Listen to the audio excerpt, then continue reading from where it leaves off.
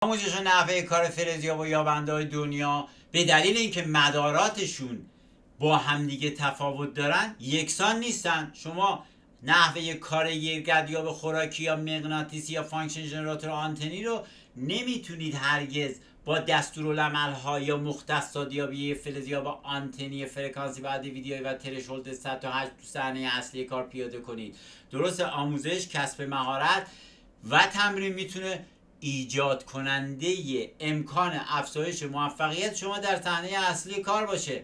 ولی این به شرطی که اون فلزیاب و یابنده در زمان تست و تمرینش میدان فلزات به خصوص طلا رو در اون بگیره تفکیک کنه علمی و عملی اثبات کنه که یه فلزیاب و یابنده پیشرفته است. پس شما با یه فلزیاب و یابنده ای می‌تونید تمرین کنید و کسب مهارت کنید و از آموزشاش بهره ببرید که واقعا در زمان تست و تمرینش بتونه طلا و انواع فلزات در اون بگیره تفکیک کنه.